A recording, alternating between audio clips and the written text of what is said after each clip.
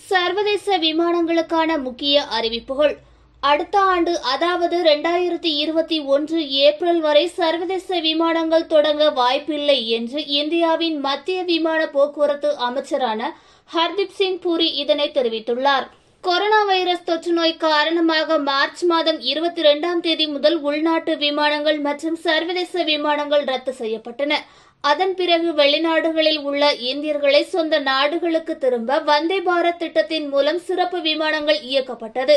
அதன் பிறகு ஊரடங்கில் தளர்வுகள் அறிவிக்கப்பட்டதைத் தொடர்ந்து மே இருபத்தைந்தாம் தேதிக்கு பிறகு சென்னை மும்பை டெல்லி கொல்கத்தா உள்ளிட்ட பல்வேறு நகரங்களுக்கு உள்நாட்டு விமான சேவை தொடங்கியது. தற்போது அறுபத்தைந்து சதவீதம் அளவுக்கு உள்நாட்டு விமான சேவைகள் இயக்கப்படும் நிலையில் இருப்பதாகவும் இது எழுபத்தைந்து சதவீதமாக அதிகரிக்கப்படும் என்று மத்திய விமான போக்குவரத்து அமைச்சரான ஹர்தீப் சிங் பூரி தெரிவித்துள்ளார்.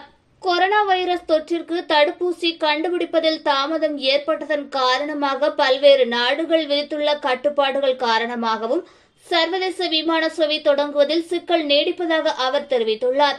இதன் காரணமாக அக்டோபர் முப்பத்தி ஒன்றாம் தேதி வரை தடை செய்யப்பட்ட சர்வதேச விமான போக்குவரத்தானது அடுத்த ஆண்டு அதாவது இரண்டாயிரத்தி இருபத்தி ஒன்று ஏப்ரல் வரை நீட்டிக்க வாய்ப்புள்ளதாகவும் ஹர்தீப் சிங் பூரி இதனை தெரிவித்துள்ளார். துபாயில் இருந்து இந்தியா செல்லும் விமானங்களின் கட்டணம் பாதியாக குறைக்கப்பட்டுள்ளதாக டிராவல்ஸ் ஏஜென்சிகள் தெரிவித்துள்ளார்கள்.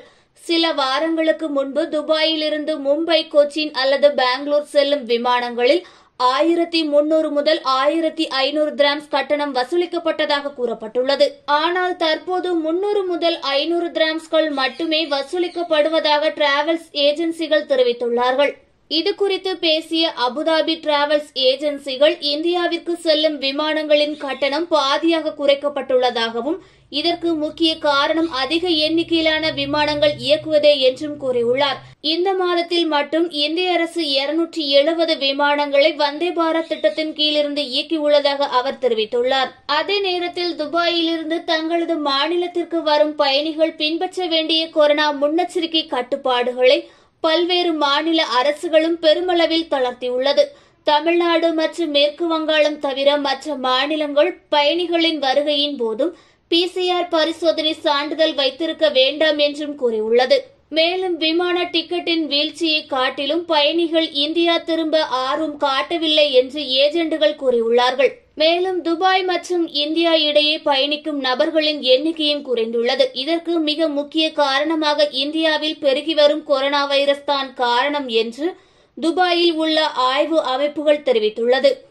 ஓகே ஃப்ரெண்ட்ஸ் இது போன்ற நியூஸ்களை உடனுக்குடன் தெரிந்து கொள்ள எங்கள் ரேஸ் தமிழ் சேனலை லைக் பண்ணுங்கள் ஷேர் பண்ணுங்கள் கமெண்ட் பண்ணுங்கள் மறக்காமல் சப்ஸ்கிரைப் பண்ணுங்கள்